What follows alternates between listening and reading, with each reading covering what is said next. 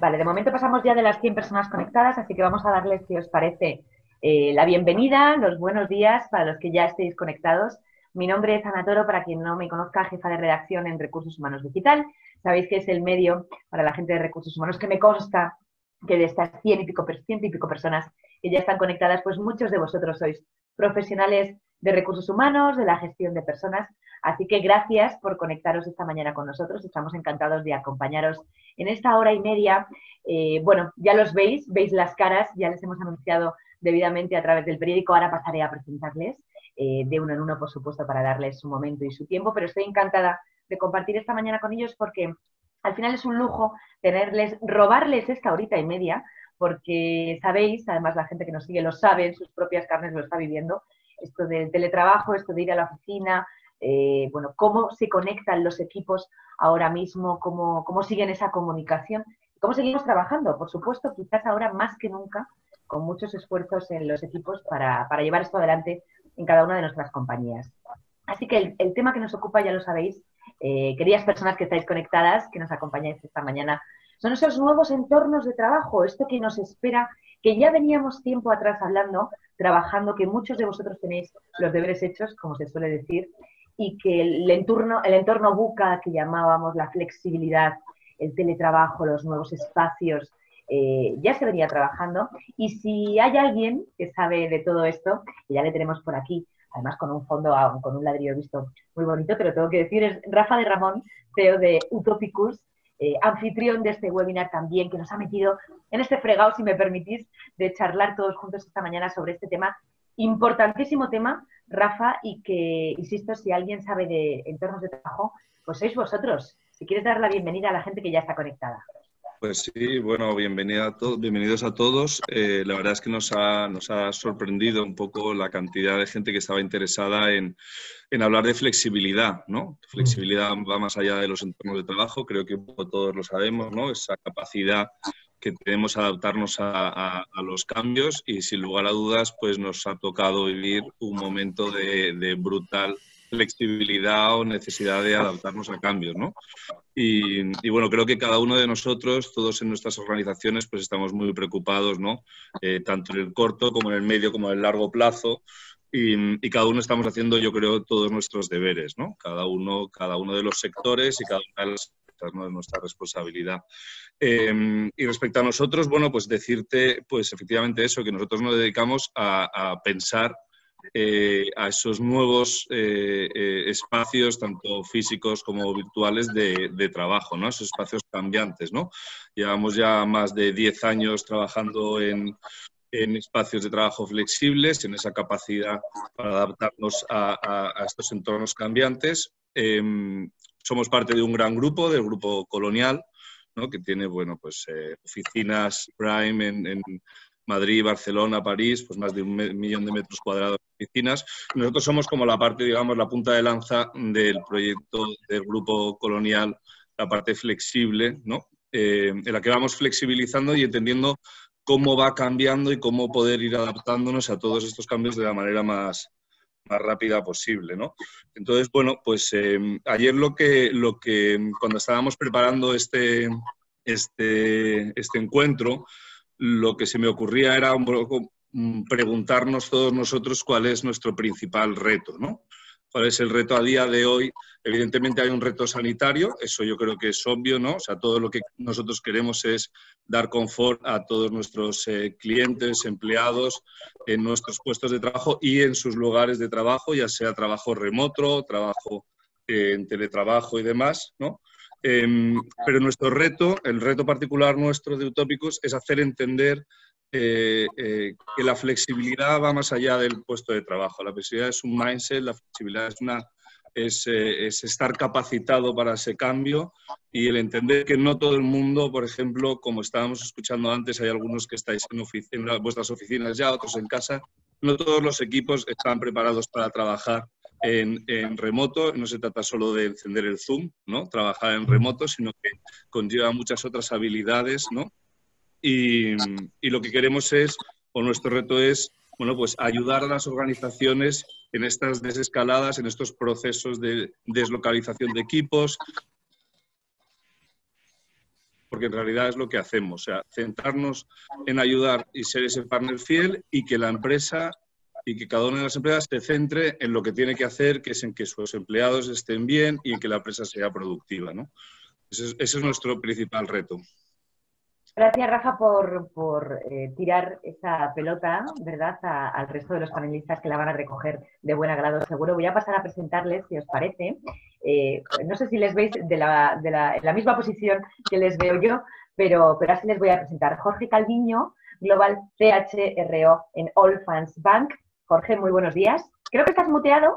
No sé si te vamos a escuchar. Me quito, me quito, ahora sí, ahora sí. Bueno, controlas, controlas las videollamadas mucho mejor que yo. Bueno, a la fuerza ahorcan, ¿no? Que dicen. O sea, no, no nos ha quedado más remedio que controlar las videollamadas, que controlar todas las tecnologías que tenemos delante. Esto creo que es Zoom, pero bueno, si no estás en Zoom estás con Webex, si no con, eh, con Teams, eh, Slack, lo que toque, ¿no? Entonces así, así estamos intentando eh, más que teletrabajar y que smart working, yo creo que sobrevivir, ¿no? Porque yo creo que a todos nos ha pillado, nos ha pillado de repente eh, esta situación, esta situación, eh, pues eh, esta transformación digital forzosa que, ha, que ha hecho que todo haya cambiado en, semanas lo que la expectativa que había en, años prácticamente. Y, y bueno, pues, pues intentando, intentando llevarlo lo mejor posible cualquier caso, eh, dar también la bienvenida a todos los que estáis conectados. Eh, yo creo que, lo ideal es, eh, bueno, no sé cómo lo va a, manejar Ana, pero, pero, lo ideal es que hay muchísimas preguntas y que intentamos entre todos pues de dar las respuestas, porque yo creo que, hablabais del entorno buca, yo ahí me quedo con la U, yo creo que la, incertidumbre ahora mismo es lo que, lo que reina en nuestro alrededor y es, por mucho que intentemos decir qué es lo que va a pasar, eh, acertar es otra cosa distinta y podemos basar en experiencias pasadas, pero tampoco hay, con lo cual, eh, bueno, pues, eh, pues yo creo que, la contribución de todos es lo que puede llevarnos a tomar las mejores decisiones en, el entorno, en el entorno que nos toca gestionar, que son las, personas. Jorge, decíamos All Funds Bank, para quien no lo conozca en el sector de la banca. Además, estás en la oficina, porque tú sí has ido a la oficina. cuéntanos un poquito para quien no conozca el banco. Bueno, pues Allfans, eh, lo primero es una, es una empresa española, es un banco español. Eh, no es muy conocido porque es B2B. Quizás para, para, algún compañero que está aquí, Alfredo, es, bastante conocido porque son clientes. Nosotros somos una plataforma, la plataforma más grande del mundo de intermediación de fondos de inversión. Eh, es decir, nosotros, imaginaos Amazon, seríamos la plataforma, en un lado están los fondos de, los fondos de inversión y en el otro lado están los distribuidores, que son pues eh, la banca retail, eh, todo lo que son pues los eh, fondos de pensiones, compañías de seguros, y hacemos básicamente tres cosas. Los vendemos directamente, ellos utilizan la plataforma, nuestros distribuidores, para vender directamente los fondos a los inversores particulares, a los que nosotros no, obviamente no llegamos, se pueden empaquetar para gestionar carteras, etcétera, etcétera, o lo pueden utilizar directamente para gestionar su propia, su propia tesorería. Ahora mismo es una organización, como decía, española, que está presente, eh, bueno, operamos en más de 50 países, eh, gestionamos o intermediamos 600 billones de euros de, activos y, eh, y, bueno, y tenemos oficinas en todos los continentes eh, bueno, 12, 12, 12, oficinas directamente eh, son las que, las que representan hoy fans. Y hay una cosa interesante y es que estamos abriendo ahora mismo eh, París y Varsovia en el, en, el, en, el, momento confinamiento, lo cual ha sido, ha sido harto interesante. Hablamos de retos, Rafa, ¿verdad? Pues el de, el de Jorge, desde luego, y su, y su compañía, desde luego, es retador. Eh, antes de seguir, que voy a eh, presentar a Leticia también para que la conozcáis, el, que no haya tenido oportunidad de verla antes, que yo sí la he entrevistado en alguna otra ocasión y es un placer tenerla esta mañana aquí con nosotros. Recordaros para la gente que nos está siguiendo también a través de, del directo, por supuesto, y a través de Twitter, porque RH Digital, Recursos Humanos Digital, dejará constancia en las redes también de todos vuestros comentarios. Hay un hashtag para aquel que quiera dejar su comentario en, Twitter, que es almohadilla nuevos entornos post-COVID. Eh, lo repito, es almohadilla nuevos entornos post-COVID. Lo digo bien, ahí podéis dejar todos vuestros comentarios. Y vamos con Leticia también para que la conozcáis, que tiene muchísimo que aportar. Eh, Leticia es Facility Manager en Staff Hub. Bienvenida, Leticia. Muchas gracias, Ana. Un placer, un placer estar con todos vosotros y con todos los oyentes, ¿no? Que ayer efectivamente me quedé sorprendida que hoy en día tenemos tantas formaciones, tantas charlas, ¿no? Pues es impresionante haber convocado a, a todo ese público y que estén deseando ¿no? escuchar pues, cómo estamos intentando hacerlo las empresas. ¿no? Eh, y, eh, como has dicho, trabajo en StarHub, ¿no? es una empresa pues, parecido, como decía Jorge, somos también un marketplace y lo que hacemos es, eh, pues ofrecemos a, toda la gente ¿no? a comprar y vender entradas tanto pues, de eventos deportivos, musicales y teatro y en más de 40 países del mundo. ¿no? Entonces, bueno, un, escenario parecido al de, al de Jorge que hablaba de Allfans, una empresa multinacional. Pertenecíamos al grupo de eBay hasta hace muy poquito, que hemos sido vendidos. Y bueno, pues como hablábamos. Pasamos de, entornos eh, cambiantes, ¿no? Si algo no ha cambiado en, el tiempo que llevo en esta empresa es, el cambio, ¿no? Es un continuo cambio y, y, adaptarse a ello pues es clave hoy en día, ¿no? Y además, eh, si hablamos de teletrabajo y hablamos de conciliación también, hoy has tenido que ir a la oficina, Leticia, estás en la oficina. Sí, estoy en la oficina. La verdad que esto del teletrabajo, ¿no? De siendo madre de tres niños, eh, telecolegio, telecasa, eh, es un reto complicado ¿no? en el que estamos. Y, bueno, hoy estoy en la oficina porque me ha tocado venir para dar soporte a toda nuestra, nuestra gente, ¿no? Eh, intentando preparar un poco esa vuelta. Vamos con Jesús. Jesús Royan, director de recursos humanos en Air Liquid, además con un reto. Eh, hemos escuchado a Air Liquid por todas partes con ese hospital eh, de IFEMA, con ese éxito de hospital, desde luego que, ya ha cerrado sus puertas. Jesús, bienvenido, buenos días. ¿Y cuál es ese reto? ¿Cuál es ese reto que tenemos entre manos? Bueno, yo creo que, bueno, primero buenos días a todos. Eh, para mí es un placer estar aquí compartiendo espacio con, con el resto de compañeros y panelistas y también poder eh, aportar un granito de arena sobre nuestra experiencia a todas las personas que nos están escuchando, que, que, como nos has dicho antes, son muchas y que sorprende en este tiempo que haya tanta, tanto interés por este tema. ¿no? Eh, bueno, pues eh, luego os contaré un poco cuál es el reto. me gustaría decir, para empezar, que, quién es Liquid, para que todo el mundo nos conozca. Nosotros somos una multinacional francesa y eh, que nos dedicamos a, producir y comercializar eh, eh, gases, tecnologías y servicios para entornos industriales y también para el mundo sanitario. ¿vale? Entonces, multinacional muy grande, más de 100 años en el mercado, 80 países, 67.000 personas, como 3,7 millones de clientes y pacientes, o sea, empresa grande y aquí en España o en Iberia, que yo soy el director de recursos humanos para Iberia, España y Portugal, pues somos 1.200 empleados en la actividad healthcare. ¿vale? Eh, como os decía, hay una parte industrial y una parte eh, healthcare que damos servicio tanto a hospitales como servicio a pacientes en sus domicilios. Entonces, eh, bueno, pues luego os contaré un poco cuál es nuestra experiencia y cuál es el reto. Tenemos, creo que retos muy importantes.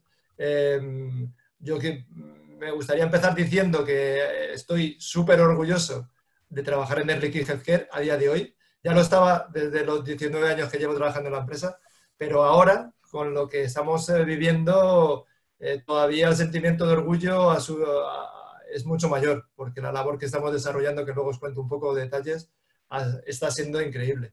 ¿vale? Y ya por poner un poco la nota de, novedad y de curiosidad, decíais antes, Ana y, Jorge, hablabais del entorno de Buca. Pues eh, yo en estos días he aprendido que, el término ya ha evolucionado. Ya no se habla de Buca, ahora se habla, se habla de Bucar, que es eh, volátil, eh, incierto, cambiante, ambiguo y remoto. Porque estamos todos viviendo en un entorno completamente remoto. Entonces, bueno, pues como novedad, el Buca ya ha evolucionado a Bucar, ¿vale? Bueno, luego, contaremos. Muchas gracias por, invitarme y espero que sea muy interesante para todos. Jorge, que se quedaba solo con la U, ¿verdad? Pues ahora tenemos una letra más. Gracias, Jesús. Alfredo, Alfredo Jacobo Molina, Head of Talent and Learning en ING, también obviamente sector bancario. Alfredo, muy buenos días. ¿Cómo estás? ¿Cómo lo estáis llevando? ¿Y cómo está trabajando el equipo de ING? Buenos días, buenos días. Gracias, Ana. Encantado, gracias por la invitación y, feliz de, compartir desde lo que nosotros estamos viviendo. Seguro será parecido a otros, pero lo que podamos aportar, encantado de, conversarlo. ¿Cómo lo estamos viviendo? Pues la verdad es que, eh, al menos yo que llevo relativamente poco eh, en el banco, que como, como saben es un banco que tiene dos grandes negocios, lo que llamamos el wholesale banking, la banca de inversión y el retail pues nacimos en España como un banco digital, aunque somos parte de este grupo, en más de 50 países, en España decimos digitales. Y al menos yo que, que recién llego a ING hace unos meses, me sorprendió la velocidad en que se movieron, eh, nos movimos todos a casa y poder trabajar a distancia. El foco sin duda fue, como sé que todos lo hicimos, eh, cuidar la seguridad de nuestra gente, la salud de nuestra gente y también la atención que damos a nuestros clientes. Y ese fue el gran foco. Y hicimos una transición bastante ágil eh, trabajar desde casa, evidentemente en las oficinas, en los servicios necesarios para atender a los clientes con todos los cuidados que sabemos, la, entrada a la oficina una persona a la vez, etc. Y, y ahora pues aprendiendo eh, a trabajar a distancia, me encantó este Booker, lo que decías eh, Jesús, que ha evolucionado a, a, la R de remoto.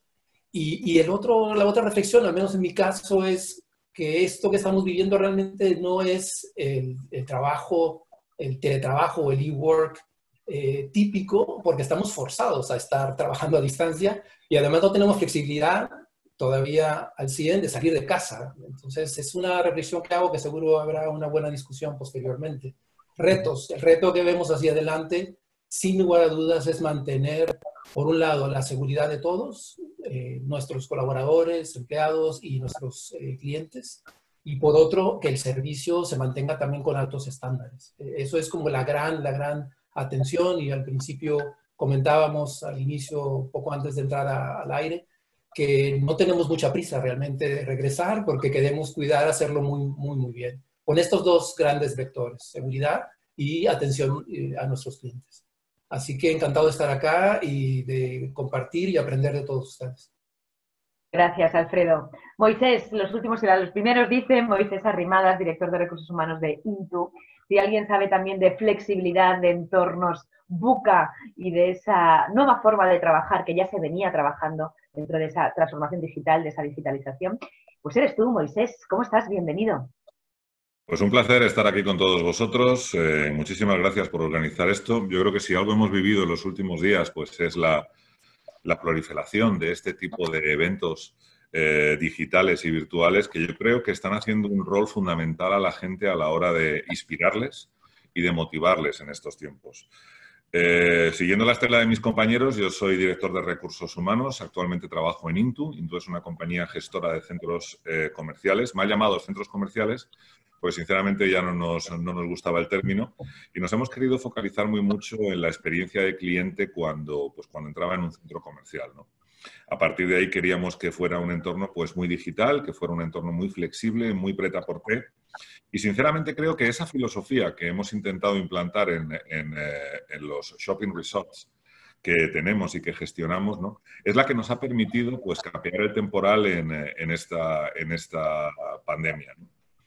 Eh, como os podéis imaginar, pues somos uno de los eh, sectores más afectados, es decir, salvo aquellas eh, retailers que están ahora mismo focalizados en alimentación, grandes superficies, pues el resto de los centros comerciales en la mayoría de las provincias están cerrados, lo que está suponiendo un impacto brutal desde el punto de vista operativo, ¿no? Y un esfuerzo brutal también, pues, por parte de los equipos, pues, que están gestionando esos centros, ¿no? Que están ahora mismo haciendo un trabajo absolutamente maravilloso. Nosotros, bueno, pues como me veis, estoy en, eh, la oficina. Todo el equipo de, gestión de la compañía, eh, pues estamos teletrabajando desde el minuto número uno. Tengo que decir que el compromiso de la gente ha sido absolutamente brutal y enfocamos el futuro, pues, eh, de una manera particular. Es decir, estamos ahora mismo a la expectativa de qué nos viene de fuera, y hablo de gobiernos, etcétera, respecto a qué podemos o qué se puede hacer pero por otro lado, eh, sí quisiera lanzar un mensaje de que la salida de toda, este, de toda esta situación va a depender muchísimo también pues, de las capacidades individuales de cada uno. Y ahí hablo de lo que nosotros desde recursos humanos podamos inspirar en términos de flexibilidad, en términos de eficiencia, a todos los que ahora mismo estamos eh, descubriendo o implantando de manera mucho más común formas de trabajo que antes eran, pues, ¿cómo decirlo?, no tan habituales y sobre todo muchísimo optimismo para lo que nos traiga el futuro. Optimismo que no, que no, no seamos naif, por decirlo de alguna manera, ¿no? O sea, tenemos un reto por delante que es absolutamente brutal, pero tenemos que, tener absolutamente claro que una de las herramientas que tenemos para salir de esta va a ser el optimismo. Al hilo de todo esto, por volver donde empecé, pues eh, herramientas como esta de comunicación a mí me parecen absolutamente fundamentales para ayudar a las compañías. Así que muchísimas gracias por organizarlo y muchísimas gracias a los 212 participantes que veo aquí por, eh, eh, asistir y, compartir vuestra visión con nosotros. Muchas gracias. Gracias, Moisés. Rafa, escuchando a Moisés ya hablaba del término flexibilidad, entendido obviamente desde la función de recursos humanos y desde la función de ir a trabajar, ir a nuestro entorno de trabajo allí donde sea ese entorno, Rafa, porque la flexibilidad eh, más que nunca cobra sentido. Sí, como os decía antes, un poco la flexibilidad, ese mindset, ¿no? De saber dónde trabajar, ¿no? Nosotros que estamos muy cerca de lo que son los, los workspaces, ¿no? Los espacios de, de trabajo, ¿no? Vemos pues las diferentes soluciones que se están empezando a plantear por necesidades que tenéis pues todos vosotros, ¿no? O sea que más allá de, vuestro, de vuestras oficinas, eh, digamos, tradicionales, ¿no? Seguramente son muchas oficinas estupendas, pero, pero ya la gente, bueno, pues busca lo que decías, el trabajo en remoto, teletrabajo, que sabéis que legalmente no es lo mismo, que hay que tener cuidado de lo que, de lo que se propone, ¿no?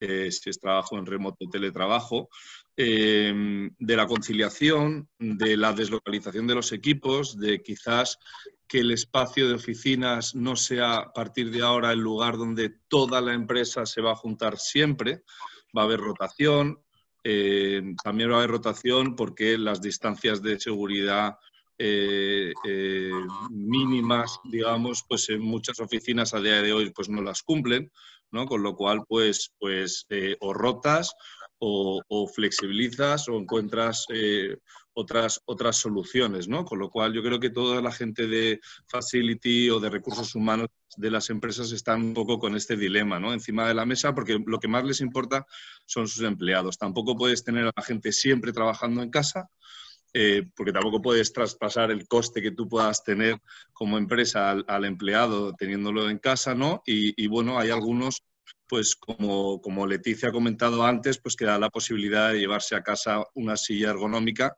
pero la mayoría de la gente que está teletrabajando en casa, de los millones de personas que están teletrabajando en casa, no tiene una silla ergonómica.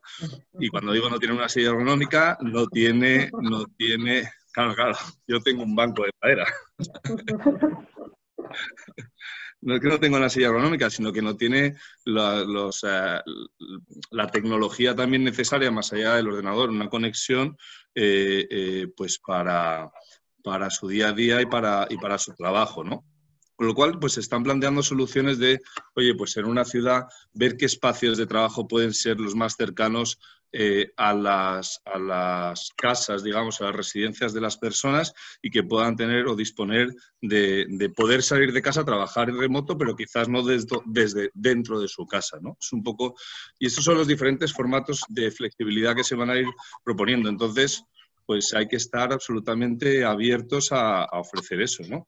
También nadie se va a querer ligar a 10 años de un contrato eh, eh, no sabe cuánta gente va a tener en la compañía o cómo van a trabajar no. Entonces, bueno, la, parte de, una parte está la crisis sanitaria que hemos tenido hasta ahora, que bueno, que estamos eh, pues llevándola pues lo mejor que podemos y ahora nos viene una crisis económica, ¿no? Y esto viene un miedo económico, viene un miedo a todas las empresas a un nivel de, de empleados, de mantener la fuerza laboral en la medida de lo posible y, y luego pues de, de, ajustar los costes de todas las compañías, ¿no?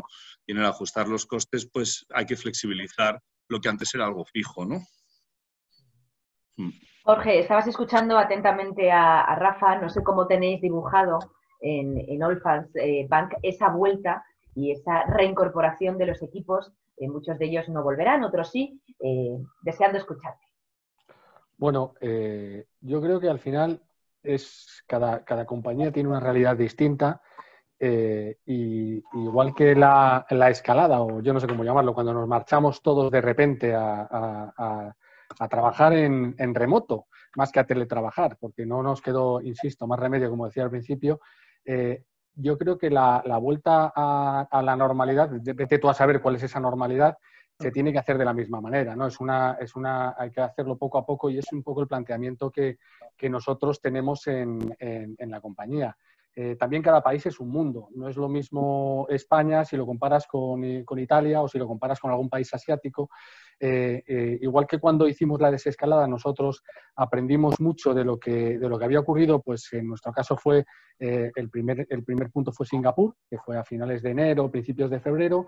A mitad de febrero ya estábamos preparando trabajar en remoto en, en Milán. Como sabéis, fue un poco eh, la situación que vivimos en España con una semana, una semana, diez días de diferencia, pero básicamente lo mismo, y eso nos permitió prepararnos bastante, bastante bien para lo que, para lo que ocurrió en, nuestro país. Eh, para la vuelta es lo mismo, o sea, eh, yo creo que, mm, es mi, es mi opinión, pero creo que para, para, mantener el empleo, lo que decíamos, para mantener nuestra, nuestra economía, de alguna forma no podemos dejar pasar demasiado tiempo para empezar a volver a, la normalidad. Para eso, para eso yo soy de la opinión de preparar los entornos, eh, los entornos de trabajo eh, manteniendo toda la seguridad absoluta para, nuestros colaboradores, eh, intentando evitar este, esto que llaman el, síndrome de la cabaña, ¿no? hay gente pues, que de repente descubre lo bien que se está en casa y, y, bueno, pues pues cuesta mucho trabajo volver. Y si esto lo dejamos, lo dejamos pasar demasiado tiempo, pues yo no creo que sea algo eh, bueno para, la economía de nuestro, de nuestro país concretamente y del resto de, del resto de los, de los países. Entonces, sí que creo que eh, se debe hacer muy poco a poco, eh, o sea, y es como lo tenemos planteado, pero nosotros algunos hemos continuado durante, todo, durante todos estos meses eh, bueno, pues representando una serie de servicios dentro de la organización muy pequeñitos y vamos a empezar a desescalar eh, desde ya, mm, bueno, pues, eh, pues trayendo representación de cada uno de los departamentos para volver a esa, esa intentar volver a esa normalidad. Alfredo, estabas, atento, escuchando a Jorge, incluso sonreías con el tema del síndrome de la cabaña, ¿no? De que parece que ahora nos da miedo, quizás, salir de este entorno que nos hemos creado eh, tan calentito, si me permitís, entre comillas, lo de calentito Alfredo. Bueno, sí, yo creo que son parte de las, de las reflexiones y aprendizajes que estamos teniendo todos, ¿no? de estar desde casa. Había quien en otras empresas, en otros países, Estados Unidos sería uno de ellos, que este esquema de trabajar desde casa, pues lo tenían ya de muchos años, ¿no? Y me entiendo que es uno de esos pioneros, los mismos que en tiempos recientes eh, levantaron eh, el, trabajo desde casa y dijeron regresar a las oficinas por aquello de que los seres humanos sin duda requerimos de las interacciones. Entonces, eh, a mí me parece que, que, este contacto humano es algo, importante, que nos ayuda a, a, ser mejores personas, pero también a aportar, aportar mucho más. Eh, entiendo que hay investigación inclusive que habla de, de la longevidad, está más asociada inclusive al contacto social que a otro tipo de, temas, inclusive, inclusive, el fumar, por ejemplo. Eh, de manera que yo sí creo que, encontraremos, encontraremos un balance conforme vayamos avanzando de este tiempo de interacción con otros, sin duda en casa, es con la familia, pero también con colegas y con clientes y demás. En nuestro caso, la desescalada, eh, tenemos muy claro que un par de meses estaremos trabajando todavía desde casa, esa es un poco la decisión que hemos tomado. Y después de esos par de meses, hacerlo pausadamente. Eh, ya no, no tenemos prisa, queremos ir cuidando con estos dos vectores de los que hablé antes para asegurar que mantenemos a todos eh, en salud, eh, decía yo, tanto a nuestros colaboradores como a nuestros clientes y también los servicios. Es, es, algo cuidando, como decía ahora Jorge, pues, la, la, economía y lo que hay que hacer hacia adelante viene sin duda eh, un reto importante para todos, cómo hacer para mantenernos en esa línea y mantener los altos estándares. Eh, ahí son algunas de las reflexiones que, que me vienen. Jesús, eh, hablábamos antes de, de, este directo y nos conocíamos un poco, nos contabas un poco lo que estabais haciendo en la Liquid y ya tenéis dibujado, además, hace, hace relativamente poquito tiempo, un entorno de trabajo, un proyecto, ¿verdad?, entre manos, que nos gustaría que, que, compartieras con nosotros. Muy bien, eh, Ana. Pues eh, sí, yo creo que es. Eh, antes me gustaría contaros de dónde venimos. Pues nosotros al final somos una empresa muy innovadora en cuanto a productos y servicios a clientes y yo creo que, que en, ese, en, ese, sentido estamos muy avanzados, pero a nivel interno, pues somos una empresa más bien clásica, en el sentido de que el teletrabajo no existía Los espacios de las oficinas son espacios clásicos, y más o menos open space, pero con despachos, eh, mucho papel, eh, mucho armario, eh, pocas salas de reuniones. Bueno, venimos de ese mundo. si no recuerdo mal, el día 8 de marzo fue cuando vino el tsunami. el día en Madrid cerraron los colegios y el día 9 en el comité de crisis nos pusimos a tomar decisiones y creo que recordar que el día 10 o el 11 pues eh, teníamos al 100% de las personas que podían teletrabajar en casa, cuando nunca en la vida nos habíamos, estábamos pensando en el teletrabajo, pero no habíamos eh, tomado ninguna iniciativa. ¿no? Entonces, eh, cogimos los ordenadores, algunos las pantallas y nos fuimos a, a, nuestras casas. Sí es cierto que yo creo que la empresa había hecho bien los deberes durante los últimos años a nivel de invertir en, nuevas tecnologías y estábamos todos trabajando en, en un entorno eh, Google, con eh, eh, la nube, ficheros en Drive y bueno, eso ha facilitado que podemos estar teletrabajando desde el minuto cero en casa sin problemas. Pero bueno, para nosotros fue una novedad porque no estábamos acostumbrados. Entonces llevamos dos meses y no ha explotado nada. Hemos seguido dando servicio a los clientes. Os decía antes que estaba muy orgulloso de, de estar en la empresa porque eh, como tú decías, en la parte de hospitales hemos participado en proyectos, eh, para que os hagáis una idea, hemos instalado casi 30 tanques de oxígeno. Sabéis que el oxígeno es un tema ahora fundamental en, eh, en esta situación de, COVID.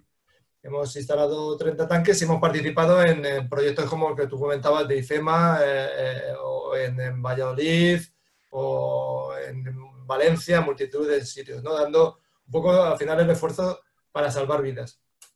Em, pero luego había mucha gente que estábamos teletrabajando. Entonces, eh, bueno, pues eh, lo que tenemos claro es eh, que no queremos volver a la misma empresa que dejamos el día 10 de marzo, porque la situación realmente ha cambiado y se han roto muchos paradigmas y muchos miedos que teníamos todos y yo creo que esta crisis ha sido, está siendo terrible, pero también tenemos que sacar cosas positivas de ellas. ¿no? En, nuestro caso, yo creo que claramente eh, seguimos todavía en la gestión de la crisis, porque todavía, como sabéis, eh, la situación en España es complicada y nos siguen llamando de muchos hospitales, muchas residencias de ancianos, eh, para que sigamos ayudándoles. Pero a la vez estamos trabajando en paralelo para planificar la vuelta. Y como tú decías, sí que hemos lanzado ya un proyecto, básicamente que tiene el gran reto que me preguntabas, era eh, que queremos cambiar la, la, experiencia de nuestros empleados. Yo venía antes del mundo de, estuve unos cuantos años en, en, marketing y trabajamos mucho con el tema de experiencia de cliente, como decía un compañero antes, y ahora tenemos claro que queremos que la experiencia de nuestros empleados sea diferente. Entonces, eh, el proyecto que estamos lanzando, que estamos ahora con, eh, con, con justo encima de la mesa, toca tres pilares por un lado, eh, que este teletrabajo que nos hemos visto forzados a hacer cinco días a la semana, un poco caótico, con los niños corriendo a, nuestro alrededor, eh, con eh, conferencias que no acaban nunca, pues queremos hacer un teletrabajo bien estructurado y con una, forma lógica y profesional de hacerlo. No queremos volver luego a la, misma oficina que, que, dejamos el día 10, no tiene sentido. como decía, hemos metido en la marmita ideas como cero papel, eh, eh, espacios mucho más colaborativos, que la gente quiere trabajar por proyectos, nueva forma de trabajar, con lo cual, además del teletrabajo, un espacio diferente. Y luego la del tercer pilar, eh, que supongo que se comentará también, herramientas y tecnologías digitales que nos ayuden a esta nueva forma de trabajar, porque trabajar a la vieja usanza y querer hacer eh, teletrabajo o espacios colaborativos, pues no tiene mucho sentido. Entonces hay un componente de tecnología que hay que incorporar. Entonces, bueno, pues eh, muy ilusionados porque, porque yo creo que es un gran reto. Eh, claramente vamos a volver a una empresa diferente. Tampoco tenemos, como decía Alfredo, ninguna prisa. queremos hacer las cosas bien por el tema de seguridad de, nuestra gente y, y, porque queremos planificar bien el proyecto. Entonces, bueno, pues eh, eh, sin prisa pero sin pausa ya se ha, cometido, constituido un comité del cambio formado por gente de, diferentes ámbitos de la compañía eh, y estamos manos a la obra. Yo creo que tenemos un reto para mejorar la experiencia de nuestros empleados, eh, que eso redundará evidentemente en una mayor satisfacción, una mayor conciliación, una mayor eficiencia y eficacia y al final somos una empresa, tenemos que dar resultados y todo esto tiene que aportar valor al negocio. ¿vale? Entonces... Eh, lo, comentaba, lo comentaba Moisés, ¿no? El, encontrar y el buscar algo positivo de todo esto y qué ejemplo, desde luego el que nos acabas de dar Jesús, de una empresa que quizás no se, no se planteaba determinadas cosas que ahora, por supuesto, han llegado para quedarse y no se va a volver atrás. Dejarme porque eh, Rafa ha contestado a una, a una pregunta que ya nos han hecho sobre la diferencia entre teletrabajo y trabajo en remoto. ¿Verdad, Rafa? Voy a leer si te parece tu respuesta. La diferencia es que trabajo en remoto se debe realizar solo desde casa y la empresa no está obligada a, proporcionarte por recursos como, como la conexión wifi, por ejemplo.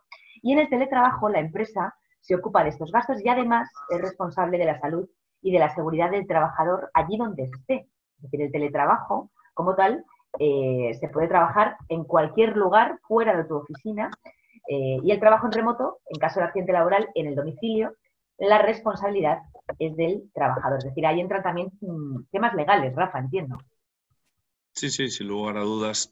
O sea, ahora mismo estamos en trabajo en remoto, porque estamos obligados a estar en nuestras casas trabajando. ¿no? Eh, lo, que nos lo que nos va a ayudar el trabajo en remoto es a romper los paradigmas que hablaba Jesús y a plantear un teletrabajo, ¿no? que nos tenga que ser eh, obligatoriamente tener que estar trabajando en tu casa. Puedes estar trabajando allá donde creas más conveniente trabajar, sin necesidad de tener como, como, decía Leticia antes, pues tres hijos alrededor y, encima, pues, eh, eh, bueno, pues estando en casa, ¿no?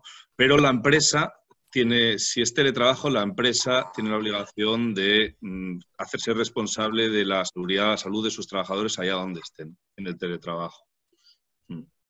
Hay otra pregunta que van a lanzar, sí, eh, porque bueno, ya, os adelanto que, van a empezar a, llegar eh, preguntas. Eh, ¿Hay algún, mm, no sé si llamarle despistado, oye, no quiero que se me enfade la persona que hace la pregunta, pero que le defináis, Leticia, por ejemplo, te lo lanzo a ti, lo que es un entorno buca? Porque hablamos mucho del entorno buca, pero ¿en qué consiste? No sé si Leticia. Se ha quedado congelada. Claro, ahora justo que le lanzo la pregunta. Se... Pues, a ver si te escuchamos, Leticia, a ver si te escuchamos. La vida en la que estamos actualmente, ¿no? Parece, que, la, pues parece que la perdemos. Leticia, a ver si te vemos ahora bien. Bueno, ¿Me, directo ¿Me escucháis ahora? Sí, ahora sí. No. ¿Me escucháis o no? Te perdemos, te perdemos Leticia. Ana, perdona, que, me preguntabas, ¿no? Sobre esos entornos buca. Correcto. Nada, parece que la perdemos. No sé si me escucháis bien. Te perdemos. A ver si recuperas la conexión. Pero la pregunta. Le, le, voy a pasar la pelota, si te parece, Moisés. A ver si eres capaz de decirnos y de aclararnos qué es un entorno buca para esta persona que lo pregunta, para esta persona que está conectada. Pues un entorno buca es el nuevo entorno en el que estamos viviendo ahora mismo. Veníamos de una situación económica y social pues, que se caracterizaba por ser estable. Es decir, si nos fijamos pues, qué había pasado en el pasado, pues desde la revolución industrial o la posguerra, eran entornos que solían durar pues 30, 40 años, eh, caracterizados por movimientos que eran eh, muy largos. Y ahora mismo, pues desde las, eh, las últimas procesos que hemos vivido de cambio social, tecnológico, económico, eh, vivimos en un entorno que es absolutamente volátil, de ahí viene la V. La U es uncertainty, que es absolutamente incierto.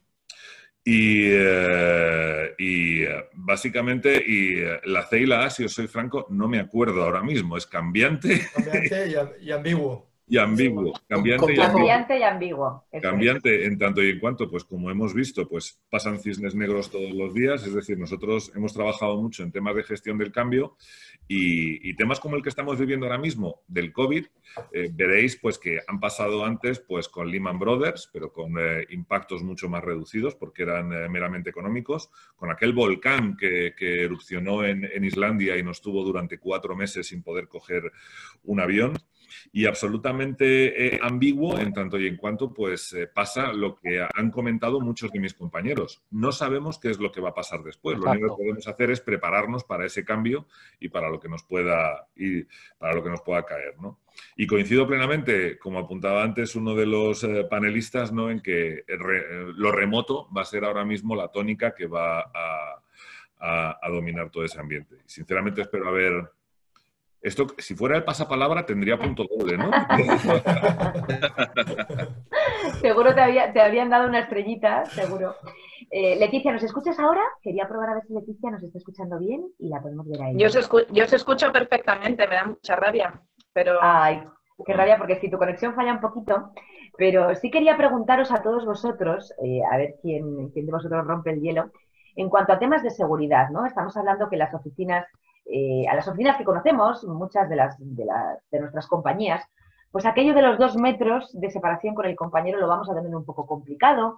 Quizás el hecho de compartir un café en la máquina, como ha hecho Jorge, que ha ido por su café, que está en la oficina, eh, también va a ser un poco complicado.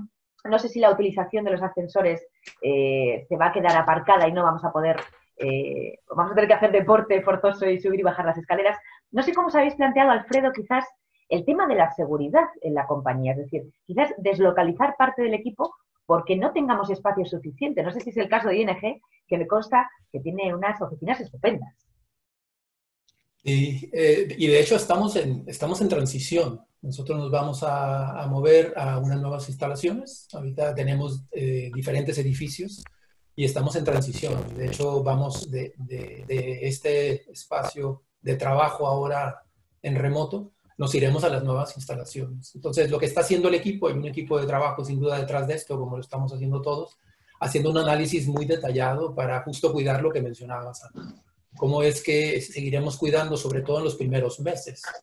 ¿no? Es lo que se dice por ahí, algunos expertos hablan que, que las cosas tendrán una cierta estabilidad, para no hacer referencia a la normalidad, hasta el 2021 realmente. Entonces, eh, estamos pensando en los próximos meses, el resto del año, cuando regresemos poco a poco, cuidar justo lo que decías. Eh, el tema del ascensor en un edificio muy alto será un tema. Eh, en otros casos, edificios tan altos, pues escaleras, siempre cuidando la distancia. Nosotros estamos contemplando qué porcentaje del total de la plantilla podría estar en el edificio en las primeras etapas y, con base en ello tomar una decisión qué equipos podrían empezar a ir a las oficinas y escalar o escalonar también eh, horas de llegada para tener un proceso que no tengas tú a la gente. Por ahí veía un estudio que en un edificio de creo que 7, 8 pisos, con X número de personas, podrían tardarse todo el día si uno a uno va subiendo el ascensor. Eh, no, es, no es práctico. Entonces, esto es algo que, que estamos eh, estudiando para irlo haciendo paso a paso. Y lo otro que para nosotros creo eh, nos ayuda bastante es que, como saben, hicimos una transformación a un mundo agile. Y hacer esa transformación nos permite estructurar la manera de trabajar distinto. Entonces, este trabajo ahora en remoto eh, tiene todos los protocolos eh, típicos de esta metodología. Entonces, la gente hace sus dailies a distancia, hacen sus sprints, los squads están trabajando de manera conjunta y están en este proceso constante de moverse ágilmente, flexibles, eh, sacando y trabajando en nuevos servicios, nuevos productos. Y de manera que si uno está en oficina, otro está en casa u otro está en camino, es algo que, que puede seguir eh, funcionando. Hay claros cuáles son los entregables y hay alguien que se hace cargo, obviamente, de estos, de estos squads de trabajo. Entonces, eh, yo diría que iremos aprendiendo sobre la marcha también. por ejemplo, ahora el, el poder ir por las cosas que dejamos en la oficina. Cuando salimos de la oficina, quienes no hemos regresado, tenemos cosas allá, cosas personales, la foto, pequeños detalles. Y también estamos haciendo un proceso muy cuidado, donde estamos dando de alta en qué día de la semana, a qué hora estaremos yendo. Y tenemos un plazo específico de tiempo para que cuando estemos ahí, justo mantengamos las distancias adecuadas, para que tú puedas ir por tus cosas, salir de ellas y, acá no se vale el, decir nos ponemos de acuerdo todos los del equipo fulano para estar juntos porque no es la intención sin duda, sino poderlo hacer de manera, de manera ordenada. Jorge, no sé si estás de acuerdo con Alfredo, cómo lo vais a hacer eh, vosotros. También preguntaros quizás por los espacios eh, que se comparten, ¿no? Las cantinas, los comedores, quizás donde los, compañeros eh, comen todos los días, aquel que se quede a comer en la oficina, todo esto quizás va a dar una vuelta. Yo creo que sí, que va a cambiar. ¿Me oís? No sé si me oís. Sí, te, escuchamos perfectamente. Ah, sí, gracias. Eh, bueno, todo esto yo creo que va, que va a evolucionar muchísimo. Nosotros, eh, dependiendo de cada, de, cada, de cada oficina, tenemos oficinas que son edificios únicos para nosotros, donde puedes eh, poner un protocolo pues, más seguro que en, oficinas que son compartidas. Donde bueno pues dependes mucho de, de, los vecinos ¿no? y esto, esto es, una, es una primera cuestión pues, con la que nos hemos tenido que enfrentar como decía al principio nosotros sí que vamos a organizar ya la vuelta entonces, eh, estamos preparados para hacerlo desde hace, desde hace tiempo. Eh, lo que es cierto es que los espacios se han reducido pues, a, menos de la mitad para, mantener todas las medidas de seguridad. Eh, la cantina, por ejemplo, en el caso de Madrid, en este edificio en el que estoy yo ahora mismo, pues sí tenemos una, cantina que, fue de las primeras decisiones que se tomó, pues obviamente cerrar, cuando aún había gente antes de empezar con el, con el trabajo, trabajo en remoto. Esto, desde luego, en las eh, fases que hemos puesto de vuelta, eh, pues no está ni siquiera contemplado. Es decir, no vemos viable o no vemos fácil que se pueda mantener el servicio de cantina abierta. El tema de los ascensores, eh, bueno, nuestro edificio aquí en, este concreto son, son cuatro, plantas, entonces no es un gran problema. Sí que es cierto que por el tamaño, pues siempre intentamos mantener ese, ese metro y medio de seguridad. vamos a proporcionar equipos y hemos puesto un protocolo de normas de, obligado cumplimiento para poder, eh, para poder garantizar la seguridad de, las personas. Antes de decidir quién va a volver, vamos a, vamos a practicar, eh, obviamente es voluntario, pero vamos a hacer pruebas de, serológicas de, coronavirus para tomar toda esta, esta cuestión. Ya hemos enviado cuestionario a toda la, a toda la población, eh, a todos los empleados a nivel mundial bueno, pues de, su estado para, para, ir preparando esa desescalada de manera, de manera eficiente. Pero evidentemente van a cambiar, van a cambiar muchísimas, muchísimas cosas. Quería añadir también que, con las prisas, lo que pasó cuando la gente empezó a marcharse a trabajar en remoto, eh, eh, bueno, pues hicieron una petición de, llevarse mobiliario de la oficina. O sea, suena, suena, suena curioso, pero desde la pantalla grande hasta las sillas. Eh, y claro, te enfrentas a esa situación y dices, Joder, ¿cómo, lo hago? ¿No? ¿Les dejo que se lo lleven? ¿No les dejo? No es un robo, no es un robo. No, no, no es un robo. Y, ahí abrimos, eh, abrimos la mano. Entonces, bueno, de alguna forma nos hemos, yo creo que como todos, nos hemos buscado la vida y alguien lo apuntaba, no sé si era Rafa, que yo creo que esto lo iremos, o Alfredo, iremos aprendiéndolo sobre la marcha.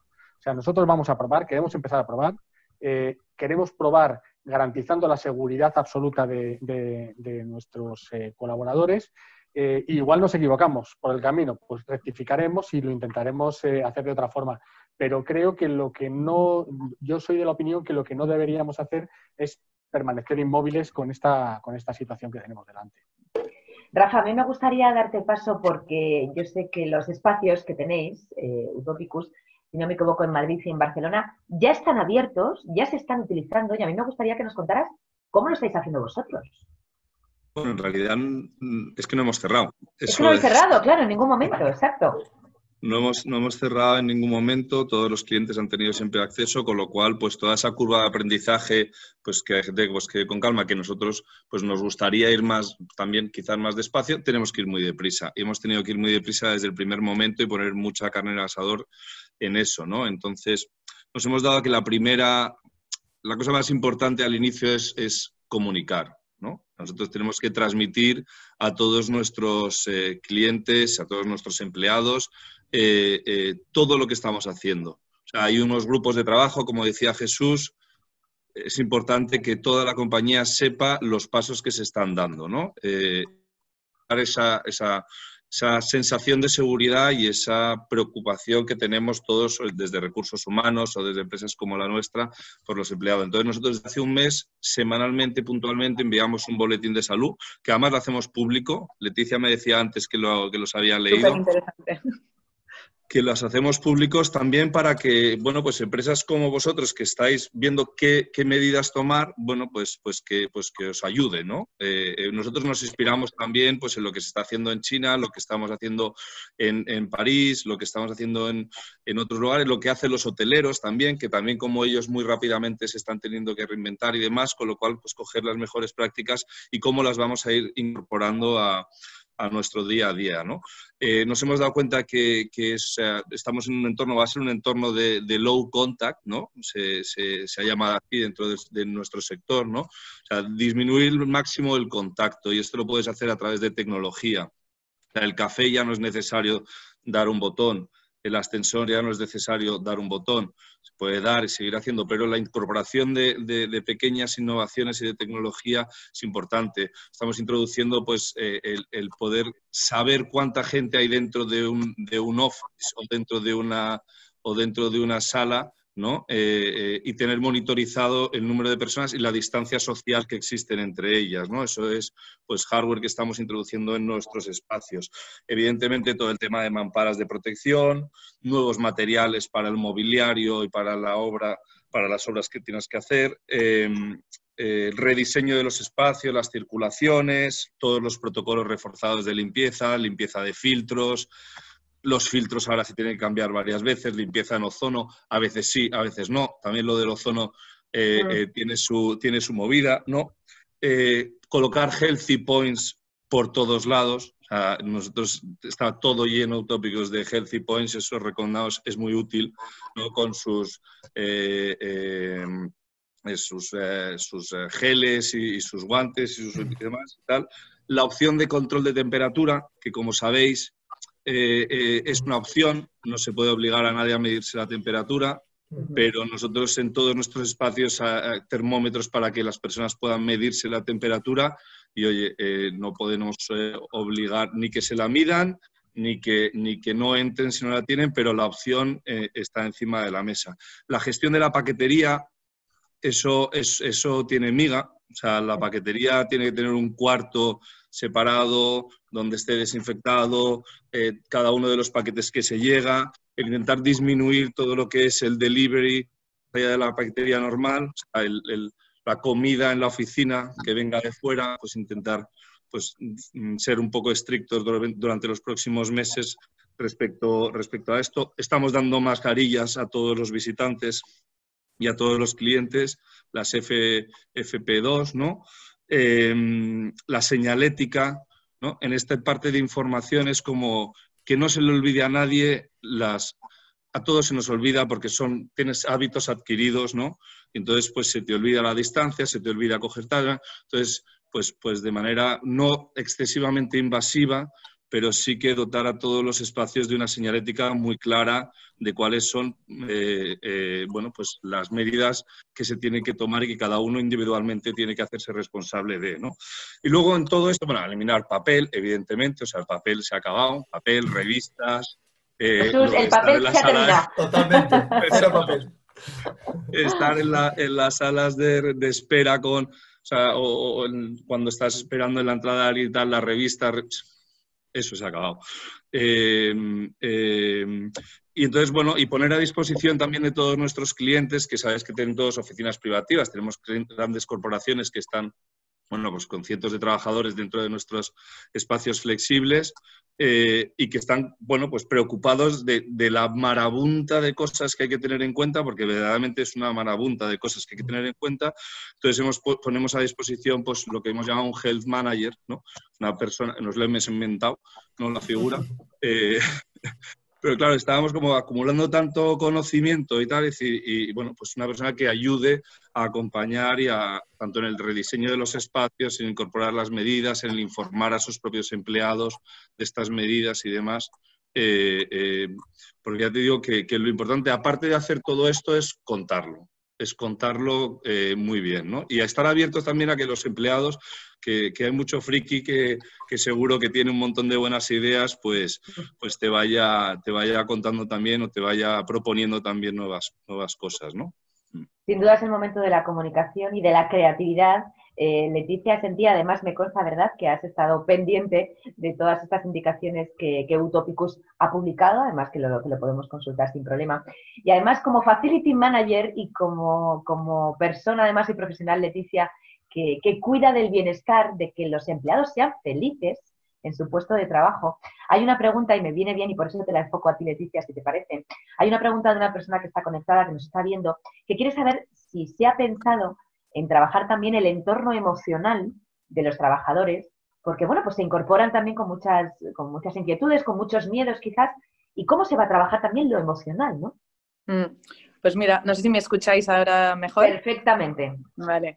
Eh, pues hablando de este, de este aspecto emocional, ¿no? Justo ayer en, una de las reuniones que teníamos también del comité para, para, la reapertura y la vuelta y hemos hecho también varias encuestas para ver cómo se siente nuestra nuestra gente, ¿no? Y, si quieren volver ya, si no, si hacerlo flexible y todo esto, salió este tema, ¿no? Salió el tema pues que hay gente en los equipos que está sufriendo, que, que viven solas, la soledad, eh, el miedo a volver, ¿no? Em, y todo esto. Y bueno, nosotros tenemos un programa que está incorporado, lo tenemos desde hace ya mucho tiempo, eh, que es asistencial, es un teléfono al que tú llamas y te da asistencia pues en momentos si tienes una crisis o un familiar con problemas o lo que sea, puedes llamar y son psicólogos especialistas que, te ayudan en situaciones, en situaciones difíciles, ¿no?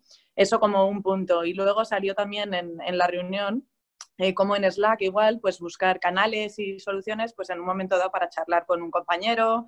Eh, creo que hay las aplicaciones eh, Slack and Donut, no sé, no lo he hecho nunca, tengo pendiente de probarlo, pero ver cómo, cómo podemos ayudar ¿no? a, todos, a toda la gente que está trabajando desde casa de formas pues muy, muy complicadas en muchas situaciones y pasando momentos muy difíciles, a, dar apoyo, este apoyo emocional a, a, nuestra gente. ¿no? Y ayer también leía en LinkedIn un, un artículo de de, otro director de recursos humanos que me pareció muy interesante, que comentaba cómo eh, hoy en día es tan importante ¿no? Eh, que estos, los managers o las personas responsables de los equipos hagan más seguimiento y, escriban más a sus equipos, a ver qué tal se encuentran, cómo están, eh, ese contacto humano. ¿no?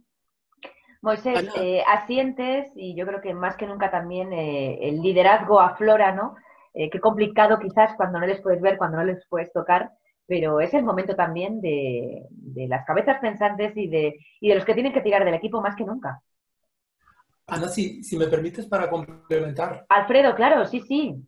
Te nos adelantas, pero me encanta que os peleéis, o sea que para eso hemos venido.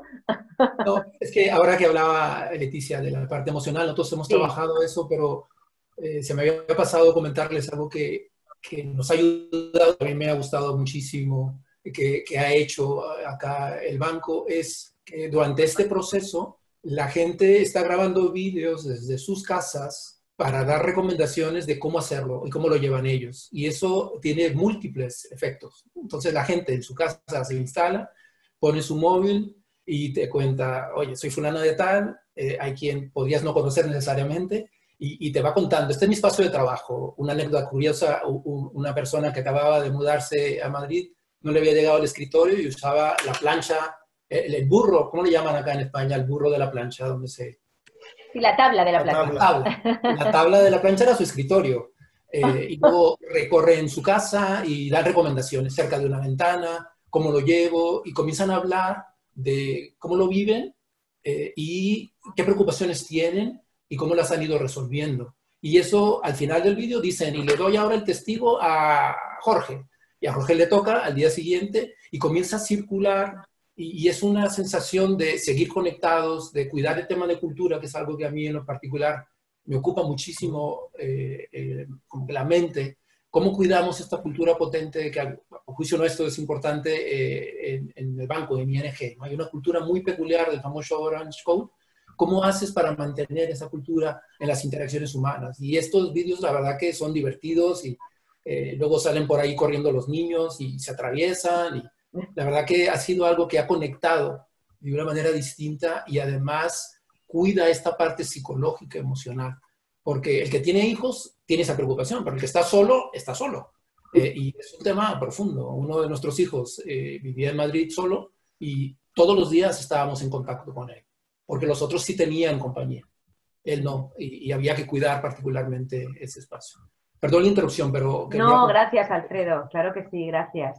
Moisés. Alfredo, viene absolutamente al hilo. Mirad, nosotros tenemos eh, una disposición de oficina y una filosofía de trabajo que es muy agile. Aquí tenemos espacios abiertos, open space, eh, somos absolutamente proclives a la hora de, hacer eventos informales. Y sabéis una cosa curiosa y paradójica, eh, hablábamos antes de esos que quieren volver al cucún y ni quedarse en casa. Pues de momento yo no he detectado ninguno en nuestra plantilla. Es decir, es más, hay una hay una queja, entre comillas, común y es que la gente dice, jo, qué ganas tengo de volver a la oficina para que tengamos esos ratos de, café, esa barbacoa, ese, encuentro, esa fiesta, ese cumpleaños, etcétera. Respondiendo a lo que me preguntaba antes Ana, yo creo que esto, uno de los mayores desafíos que hemos tenido, y sobre todo en una cultura como la española, ¿no? que es, que es eh, querámoslo o no, bastante presentista, está cambiando, pero sigue siendo bastante presentista, es tener ese liderazgo remoto cuando antes tenías a, perdonadme la expresión, todos los polluelos alrededor y los podías controlar de una manera muy visual. Ahora, pues, eh, se ha instaurado un tipo de liderazgo distinto, donde la comunicación forma un, tiene un papel fundamental, pero donde también yo quiero ver ventajas. Quiero ver ventajas respecto a aquilatar exactamente cuál es la aportación de cada uno, qué se espera de cada uno. Gestionar eso en remoto es muy difícil si no lo defines. Y para definirlo además se lo tienes que comunicar y el empleado tiene que asumirlo como propio, porque ya no vas a tener esa, esa vigía, ser el vigía de toda la organización y tenerlo alrededor. Yo espero sinceramente que esto nos lleve a una nueva forma de liderazgo, pues que sea, me vais a perdonar, mucho más tecnológico, pero al mismo tiempo mucho más humano.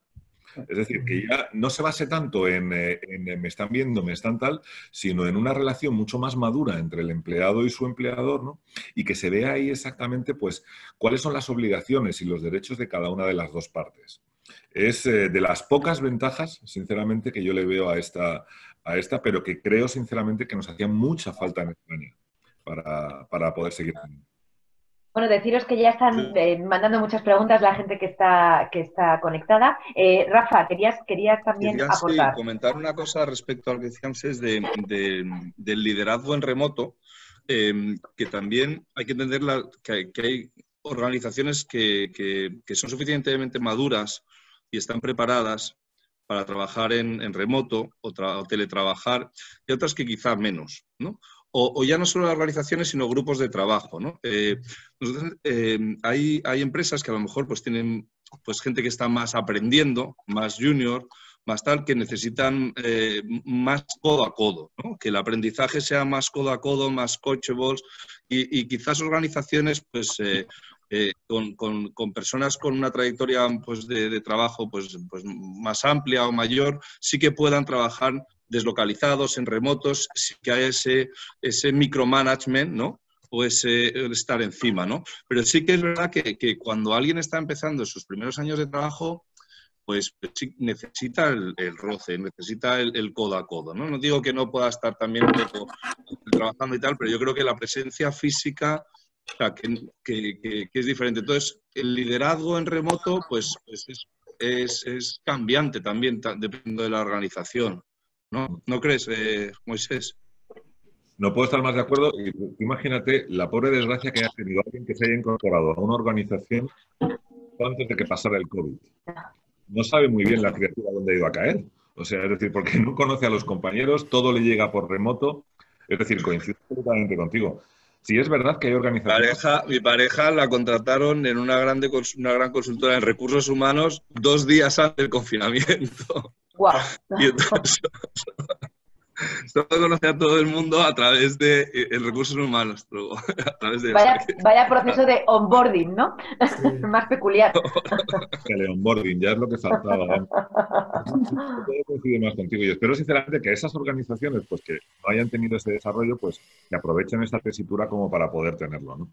Ojo, estamos hablando de organizaciones, pues como si todos fuéramos grandes empresas, etcétera, pero yo creo que esto es aplicable también a pequeñas empresas. Es decir, eh, no quiero que nadie se sienta ofendido, pero al fin y al cabo el tejido empresarial de este país es el que es, es el 90% de pequeñas compañías y, creo que las lecciones aprendidas pueden ir absolutamente para todos.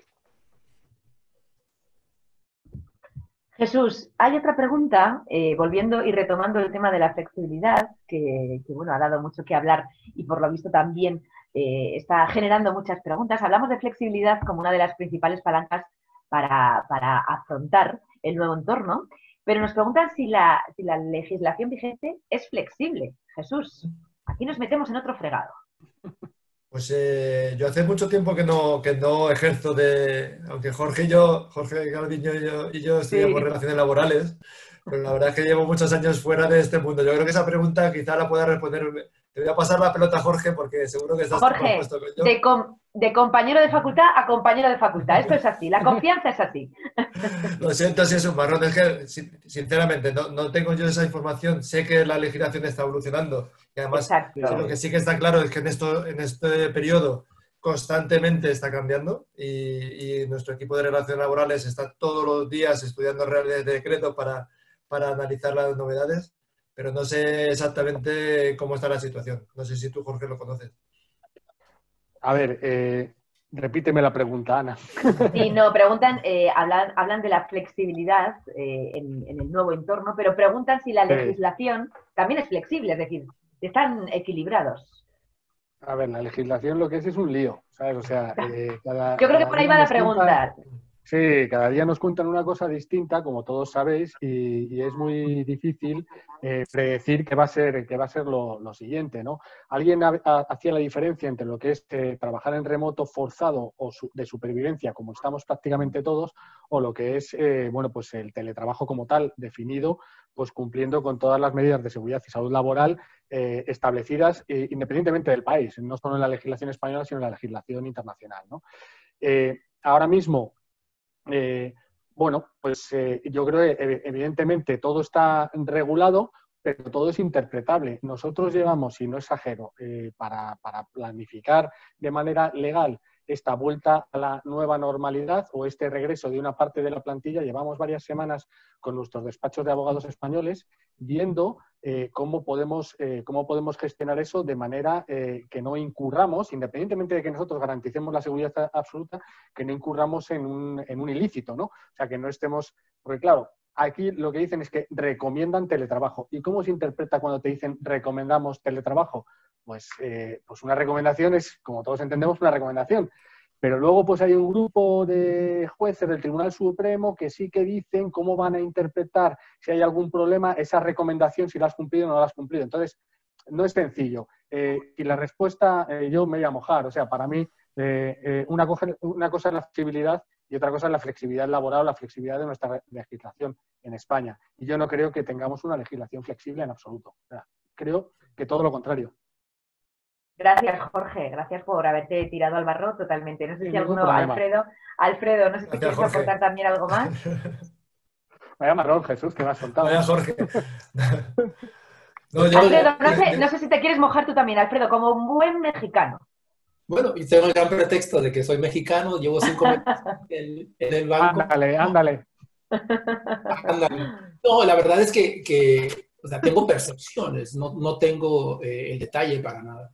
Y si lo comparara con otros países, yo creo que en algunas cosas estamos razonablemente bien, por lo menos hay diálogos en torno a, la legislación, de la flexibilidad y del trabajo en general. Yo creo que es dinámico. Yo sé que estando acá, las conversaciones que escucho de los amigos acá en España, es que, que en efecto es inflexible, ¿no? Pero cuando veo el contexto un poco más global de otros países, no se diga Latinoamérica, es bastante más complicado. al final, la legislación es una como referencia eh, y luego ya, o sea, cómo lo vas implementando eh, es, es, complejo. De verdad que no, no tengo ingredientes y si Jesús no los tiene, yo la verdad menos. Simplemente son percepciones, ¿no? Más que datos para fundamentar un punto de vista. Yo creo... ¿Hay otra pregunta? Sí, ¿alguien, alguien, ¿alguien nos habla, Moisés? No, por no dejar solo a mis dos compañeros de recursos humanos. Venga, yo también creo que es poco flexible.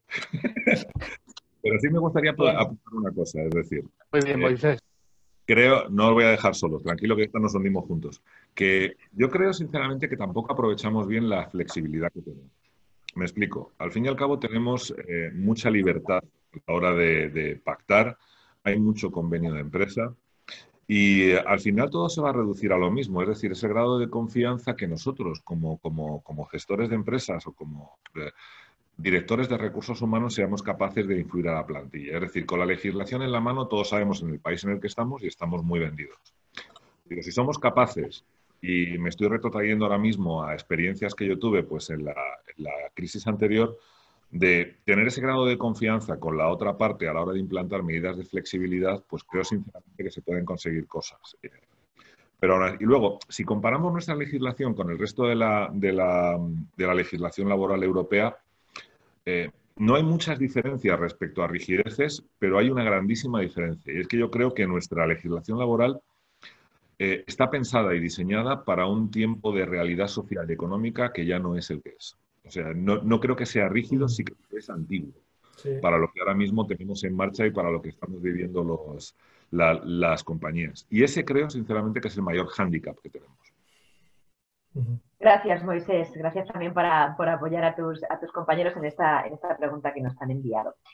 Hay otra, hay otra cuestión que nos envía una de las personas que está conectada, que es el tema de la formación de los líderes. Mucho se ha hablado de formación también, y, tanto de los managers como de los equipos. Nos preguntan eh, qué se está haciendo en cada una de vuestras compañías, en vuestras empresas, para preparar a los empleados en esta situación de trabajo en remoto y en algún caso de deslocalizar el equipo. ¿Se ha planteado, os habéis planteado formar a la gente o cómo comunicar a la gente eh, este tema? Rafa, no sé si quieres darnos unas pautas, si te parece, y luego ya les preguntamos a ver quién rompe el hielo. Nosotros lo que veíamos es que muchos de nuestros clientes tenían esa necesidad. Nosotros puntualmente hacemos pues, encuestas ¿no? a, 1.500 pues, clientes, creo que tenemos una cosa así, para ver cuáles son las, pues, las necesidades que ven a nivel formativo también de, futuro. ¿no? Y, estos eran pues, una de las principales necesidades que, tenían, que se ha acelerado además, en, evidentemente, en esta situación. ¿no? Eso eh, lo creemos fundamental, ¿no? El desarrollo de lo que son las habilidades interpersonales o soft skills, ¿no? Que, van pues desde el liderazgo de equipos en remoto hasta comunicación eh, pues asertiva, empática, hasta liderazgo, eh, bueno, la gestión de equipos. bueno, sí que, sí que para nosotros es, es un punto fundamental de, de lo que es pues las nuevas organizaciones. ¿no? y estamos muy, muy, muy encima de ellos. Antes con formación más presencial y ahora absolutamente toda la formación, obviamente, eh, online, ¿no? Jesús, ¿qué importancia se le da a la pata de la formación? Al final es el presupuesto, por supuesto, de recursos humanos que siempre ha ido para formar a sus equipos. Y en esta situación excepcional, pues ¿de qué manera lo vais a hacer? la, formación y el desarrollo es uno de, las, eh, de, los aspectos más valorados por los empleados eh, a la hora de, la retención del talento en las empresas. ¿no? Entonces, claramente tenemos que, invertir ahí. Va a cambiar, eh, evidentemente, porque como decía Rafa, la formación presencial tendrá que ser diferente. Pero bueno, yo creo que antes escuchando a Rafa,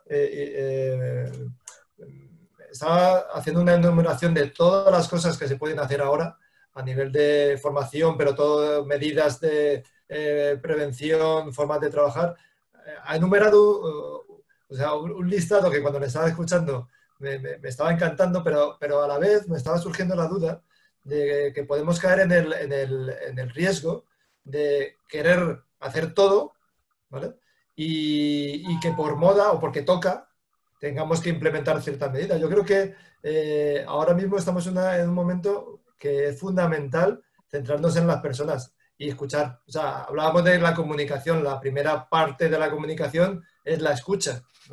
Entonces, creo que ahora es fundamental que no hagamos cosas por hacer, sino que realmente todas las empresas, aquí estamos eh, en este panel, tenemos empresas de muy diversa actividad y muy diferentes, eh, que seguramente unas políticas, incluso a nivel de formación, unas cosas encajan en unas empresas y no en otras. Y yo creo que ahora mismo tenemos que hacer un esfuerzo por realmente eh, pararnos un momento, no coger y hacer un cortapega de eh, escuchar a Rafa y todo lo que ha dicho lo voy a implantar y ya está. No, vamos a escuchar a la gente de, las empresas, vamos a escuchar a nuestra gente, vamos a, preguntar qué realmente, qué, qué valoran ellos y qué aporta valor para nuestro negocio. Luego, lo que decía Moisés también es muy importante. Vamos a negociar y vamos a, acordar. O sea, cuando digo escuchar, hay que escuchar a los empleados, hay que escuchar a los managers, hay que escuchar a los representantes de los trabajadores también, que es una parte importante.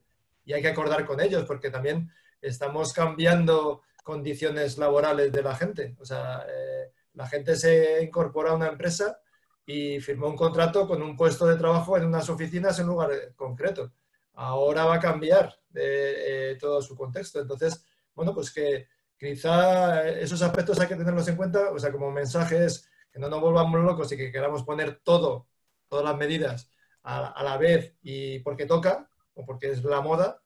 Y luego que escuchemos mucho en interno, escuchemos mucho a la gente, paremos un momento a pensar qué, qué es lo que queremos hacer y a partir de ahí construyamos o como está tan de moda lo de co-creemos juntos. ¿no? hay una pues pregunta, eh, Jesús, hay una pregunta que nos manda Fernando Bernal que vuelve al tema de la seguridad por un tema además que ha comentado Jorge y es que le gustaría saber la opinión, vuestra opinión, acerca de la necesidad de hacer test masivos, de realizar test a los empleados, eh, pues tal, tal y como ha indicado eh, Jorge Calviño. Alfredo, Moisés, Leticia, ¿hay que hacer test? ¿Quién me contesta? bueno, eh, Moisés, si quieres, ahora te, paso, pero nosotros ahora ese debate lo tenemos eh, en interno, eh, porque tenemos muy claro es que hay una parte médico-sanitaria, hay un debate claro de si realmente aporta valor los test, qué tipo de test, si haces un test hoy y vuelves a la oficina, ¿qué pasa dentro de una semana? tenemos que hacer test constantemente, o sea, hay un debate médico-sanitario importante. Luego hay otro aspecto, yo también creo, muy emocional o muy, muy de... La gente tiene muchos inquietudes y miedos y parece que si no vuelves a la oficina con un test hecho, es que no tienes que volver. No sé, nosotros todavía estamos en ese debate, quizás ahora sí que hay colectivos que son más vulnerables eh, que se han identificado como, como, tal, como vulnerables y sensibles y que a esos colectivos nosotros sí que vamos a, a, hacerles los test a, a, nuestros empleados. Y luego estamos en el debate de que, o sea, como filosofía general sí que queremos hacer los test a todo el mundo, pero tenemos que ir paso a paso y viendo realmente si aportan o, o, no.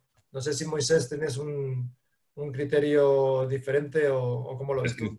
Es que estoy como tú, pero no, no, solamente con el tema de los, de los empleados, es decir, aquí hay, eh, hay una cuestión de salud y también hay una cuestión de privacidad que, hay que respetar y que yo sinceramente creo que todavía no está clara. Eh, no solamente nos está pasando en este tema, está pasando en muchos en los que pues, hay cierta ambigüedad respecto a esto. ¿no? Eh, no sé si habéis visto que hay algunos eh, grandes centros o grandes cadenas pues, que han decidido, como en otros países, hacer termografía de los clientes. Oye, es decir, medirles la temperatura con una cámara de vídeo pues eh, esto en España puede generar algún tipo de conflicto y algún tipo de invasión de derechos fundamentales. A ver cómo lo estamos haciendo. No tenemos un criterio todavía respecto, respecto a esto. Sí estamos trabajando en todo lo que no sea sumamente invasivo y digo, pero en esto de momento no puedo dar una respuesta, Ana. Eh, por, alusiones. Jorge. Eh, a ver, eh, yo estoy, estoy de acuerdo con lo que han dicho los dos, los dos compañeros. Yo creo que es más un componente eh, emocional y dar a la gente, eh, bueno, pues en la medida de lo posible, cierta seguridad a la hora de volver. Evidentemente es algo a lo que no puedes obligar, o sea, no pueden ser obligatorios en ningún caso. tú puedes poner a disposición de empleados que vayan a volver eh, bueno, pues la, posibilidad de realizar esos test. Nosotros hemos valorado hacerlos directamente en nuestras instalaciones para facilitar eh, ese, asunto y, bueno, pues con un horario determinado o en, los propios eh, centros, bueno, pues que, haya escritos para, esta, para esta situación. Luego, efectivamente, cada país es un mundo. El termómetro, pues aquí lo, hemos comprado los termómetros. evidentemente no, no es algo eh, obligatorio ni siquiera que te confirme que eso, que eso es, eh, eh, bueno, pues te, puede, te puede evitar el contagio de, COVID. En otros países, en Italia es completamente obligatorio tomar la temperatura antes de entrar. En Asia lleva siendo mucho tiempo. cada, cada sitio es un mundo y los test para mí es un indicador más. También comentaba Jesús, pues preparar, preparar las oficinas. Hemos hecho toda esa inversión, hemos puesto los metacrilatos, o sea, hemos hecho todo. De alguna forma, es para garantizar la, seguridad para cuando la gente empiece a volver al entorno de trabajo. Pero creo que lo fundamental y lo básico es dejar que fluya. Es decir, cuando estemos, eh, cuando estemos con una parte de, nuestra, de nuestras personas en el entorno laboral, es donde vamos a recibir feedback y vamos a poder medir si lo que estamos haciendo es adecuado, si lo estamos haciendo bien, si se echan menos eh, medidas adicionales, si realmente nos hemos pasado de frenada poniendo, poniendo eh, pues un montón de, protocolos de profilaxis y de, bueno, y de barreras eh, eh, que, bueno, pues están evitando que, el trabajo... Yo creo que al, final nos moveremos a un modelo híbrido en general en todas las cuestiones y es muy difícil ahora mismo, de verdad, acertar en cuál va a ser bueno, pues ese modelo futuro con el, que, con el que nos vamos a encontrar. Pero para mí, tema de, un poco por concretar esto, el tema de las, de las pruebas, eh, que efectivamente pues, eh, es una medida más, igual que eh, de, gente que se mueva, que haga commuting, o sea, gente que venga en transporte público, pues que vengan en otro, en otro, en otro medio, si es posible. Es decir, poner un montón de medidas para, al fin y al cabo, garantizar que ese retorno se produce, pero que se produce con unas condiciones de seguridad absolutamente óptimas, emocionales y reales. Eh, gracias, Jorge. No os lo vais a creer, nos quedan escasamente 10 minutos para terminar la conexión. Ha pasado muy rápido, la verdad, ya os lo, ya os lo avisé. Os voy a pedir eh, concisión y que seáis muy concretos en un minutito. Eh, esa conclusión, esa, ese titular que os lleváis y quizás un mensaje a vuestros equipos que os están viendo, ese mensaje de optimismo que decía Moisés también al inicio y, y de que todos juntos y nos pues vamos a sacar todo esto adelante. Jesús, empezamos por ti. Vale, pues nada, muy concreto. Yo creo que ahora es el momento de definir qué, empresa queremos ser, pararnos y, pensar qué empresa queremos ser, cómo queremos trabajar y pararnos a pensar, pero no pararnos mucho, o sea, pararnos y, empezar a hacer. Y yo creo que, aunque ha sido una situación dramática, eh, esto nos ha hecho aprender muchísimo a todos que se han roto, como decía antes, muchos paradigmas y que se abre un mundo de, oportunidades, por lo menos para empresas que, estábamos todavía en, esa, en esas etapas iniciales, eh, que no teníamos metodologías eh, allá y los espacios super eh, fashion. Yo creo que es un mundo, ahora mismo es un momento de gran oportunidad, pero que lo tenemos que hacer juntos. Lo tenemos que crear juntos, escuchando mucho a la gente que no sea un tema de top-down, de una cosa que se nos ocurre al comité de dirección, que, ser, que surja de la gente, que lo pactemos con la gente y yo estoy convencido de que, esto ha llegado para quedarse y nosotros claramente en Liquid Healthcare eh, no vamos a volver a la misma empresa, seguro, será mucho mejor. Leticia, si hablamos de fashion, por alusiones, te toca. Bueno, pues yo que me llevo como aprendizajes y, cosas eh, positivas de estos momentos difíciles, creo que punto número uno, la flexibilidad. Para mí ha sido siempre clave y crítico ¿no? Eh, tener flexibilidad en todos los niveles. Otra cosa importante creo que es la innovación. Están surgiendo miles de proyectos, de invenciones, de eh, todo lo que se está haciendo, es impresionante. Y punto número tres, que no lo hemos tocado, la solidaridad que estamos viendo. Gracias, y nos lo apuntamos, Leticia, muy importante. Alfredo, te paso la pelota. Ana. Reitero el agradecimiento, la verdad que ha sido una sesión eh, que me deja algunos aprendizajes, sin duda, eh, pero sí un, mensaje para quienes eh, en, el banco estén escuchando o vayan a escuchar, estamos súper orgullosos de cómo la gente ha reaccionado. Este comentario que hace Leticia, la verdad que resuena muchísimo la solidaridad o el bien de cuidar a otros, es iniciar las llamadas, las reuniones, que pueden ser muchas, pero que empiezan sistemáticamente, cómo están, cómo lo llevas. Eh, eso es un espacio humano que está siendo muy, muy potente y que hay que mantener, me parece a mí. Eh, por otro lado, eh, el tema de la cultura en nuestras oraciones, creo que es un tema que yo me llevo también como algo a atender y a cuidar. Creo que todos hemos escuchado la importancia que tiene la cultura en las compañías, en las organizaciones el impacto que tienen los resultados. Eh, creo que es algo que hay que mantener presente de cómo haces para, para que esa cultura, esos comportamientos, esa manera de interactuar y de hacer, eh, la esencia de esto, yo le llamo los aceites esenciales de la cultura de una organización se mantenga y que no, y que no sea ese trabajo distinto el que los diluya, sino al contrario, lo pueda fortalecer. Eh, nosotros estamos ya eh, planteando qué vamos a hacer con lo que estamos llamando e-work. Eh, no había comentado, hicimos un piloto justo antes de todo esto. Afortunadamente terminamos el piloto antes de, la, de la, ida a casa y estamos ya contemplando qué vamos a hacer de cara al futuro para seguir manteniendo de nuevo esta, esta esencia de nuestra cultura y este foco. Cuidar a la gente, y, mantenernos ágiles, flexibles y dar ofrecer buenos servicios, buenos productos a, a todos. La verdad que agradecido con esta oportunidad. Muchas gracias. Gracias a ti, Alfredo. Jorge, un mensaje positivo también a tu equipo que te está viendo, seguro. no sé si me están viendo, pero, eh, lo, que, es cierto es que yo creo que esto eh, efectivamente pues, eh, es una oportunidad de mejora para todos. O sea, creo que se nos han abierto un montón de posibilidades de cambiar cosas. hemos roto paradigmas. es cierto que organizaciones pues, más clásicas para para instaurar pues, metodología más ágil, metodología de trabajo en remoto, eh, teletrabajo, etcétera. Ya eh, esa apertura existe, pero yo eh, de lo que me siento más orgulloso ahora mismo es del nivel de compromiso. Yo creo que ha, sido una muestra de madurez por parte de, nuestros equipos. Es decir, muchas veces tenemos la costumbre pues de tratar a, tratar a los equipos como, como, como, si fueran nuestros hijos, ¿no? Con esa actitud paternalista o, no tratarles como adultos, como personas mayores, ¿no? Y yo creo que nos hemos dado, nos hemos dado cuenta pues, de, que, tratamos con, adultos igual que nosotros, por una parte, y que el nivel de compromiso con el proyecto, eh, bueno, pues ha quedado patente. Yo creo que no hay una organización ahora mismo que no tenga eso meridianamente claro. Y esto ha llegado para, quedarse también.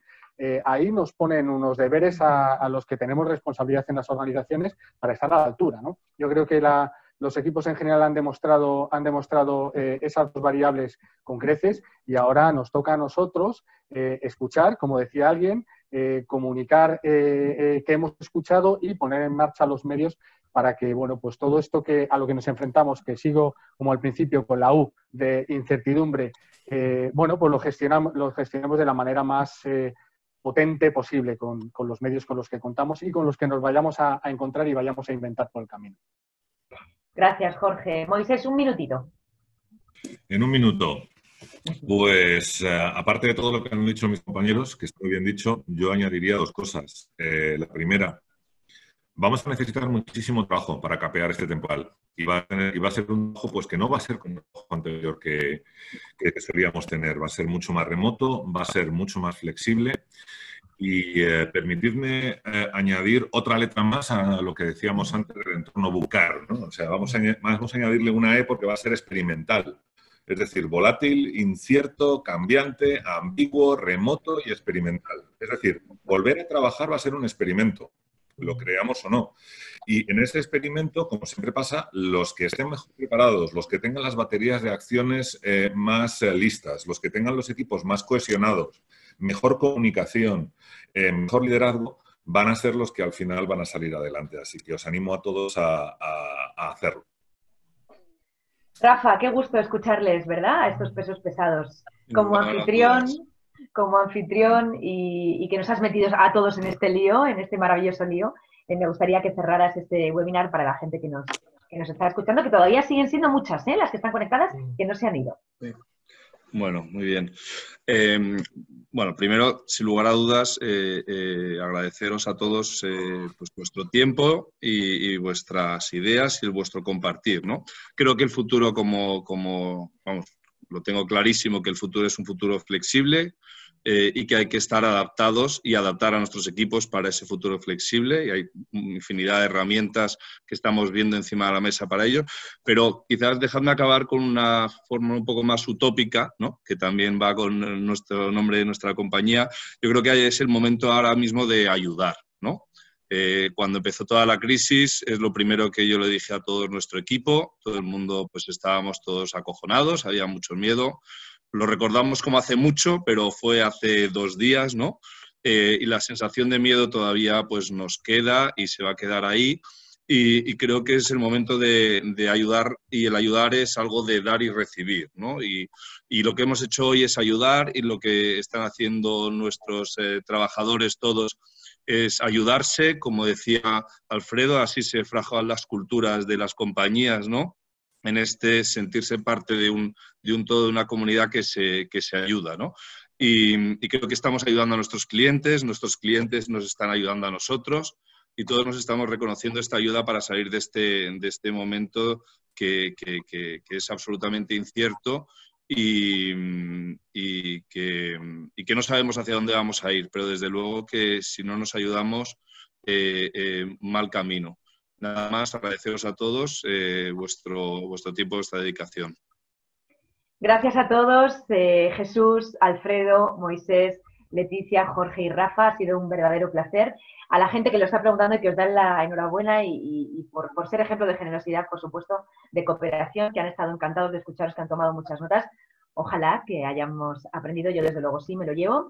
Insisto, muchísimas gracias a todos, muchísimo ánimo, deseando veros ya en persona y poder, no sé si abrazaros, pero os lo mando desde aquí virtualmente. Nos vemos en la próxima y recordarles que lo vamos a publicar, por supuesto, en Recursos Humanos Digital y también en el canal de YouTube, lo digo bien, Rafa, de Utopicus. Es decir, para la gente que no ha podido asistir, lo pueden descargar y lo pueden reproducir ahí. Besos virtuales y gracias a todos. Ánimo. Muchas gracias. Muchas gracias.